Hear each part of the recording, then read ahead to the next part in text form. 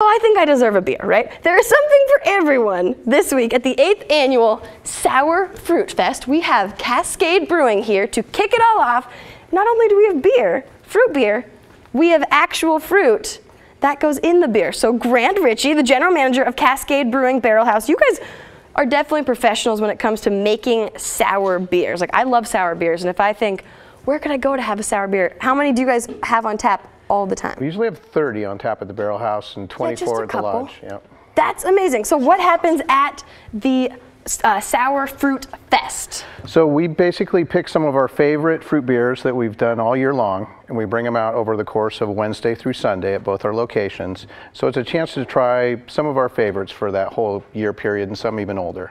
So what kinds did you bring here? Are these actually the types of fruits that went into the beers? Well, that's the thing. You know, this time of year, it's really tough to get local fresh fruit. Yeah. So this is a representation, but all our beers pretty much have the fresh fruit we can get from the area all year long. Wow. So today I brought you three beers: uh, Vitis Melonius, Creme de Pêche, and Honey Ginger Lime. They all sound very fun to say, and the only one that I know what's in it based on what you said is honey ginger lime. So we also have Amanda and Jay. Are you also taste testing? No, you're sure. Okay, why not? Do you like sour beers? Amanda, you're a big fan? I was so excited. Sour beers are my favorite, and I always go to Cascade if I want one. Oh, that's great. They are my favorite. We know So Zach. I'm sorry, your hands are full operating the camera. Um, you can taste them in the commercial break or something. So what should we try first? So start with the Vitis Melonius. That's the one there on the left. That's uh, the lightest of them all. The So, lightest, Yep, and those are grouped as well. hmm And so that's uh, Chardonnay grapes, and then cantaloupe and summer kiss melons. Thank you. Really nice. Uh, I don't know if I've notes ever had a beer with so cantaloupe it's, in there. yeah, so it's cantaloupe, summer kiss melons, and Chardonnay grapes on a barrel aged blonde ale. Wow. Oh, That's so Isn't that nice? fancy. Really okay, good yeah, super nice. Yeah. Okay, so then then the, the second one is creme de pêche, and so that's bourbon peaches, vanilla beans, bourbon barrel aged. Bourbon? Mm-hmm. What? Peaches and bourbon? That's this one? Yep. In the middle? Mm-hmm. Okay. Oh my gosh. Does it actually taste like bourbon? Just a, just a hint. I can kind of smell the bourbon. That's good. Wow.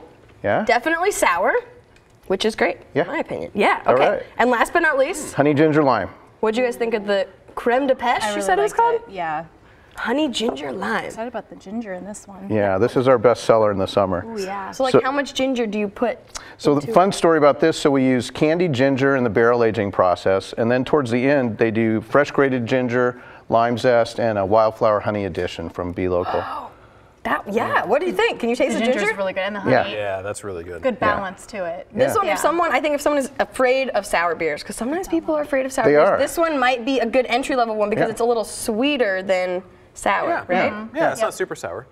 Yeah. And the first one, if you're more of a wine fan, it definitely has that touch to it. Yeah. So.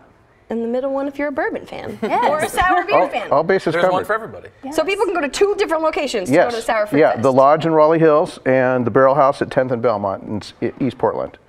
And- No, no charge for cover. Uh, just come on in. Just pay by the taste or the glass, and all ages. Amazing. All ages. So even if you 21 are- and yeah. older to drink. Hey, right, exactly, exactly. But if you can bring your kids, you can bring anyone. Totally, yeah. Check it out at cascadebrewing.com.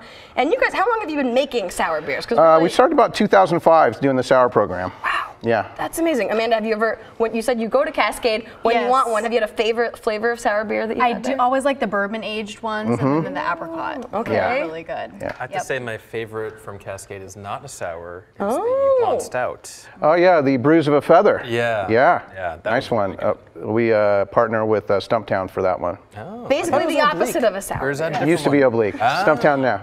Wow.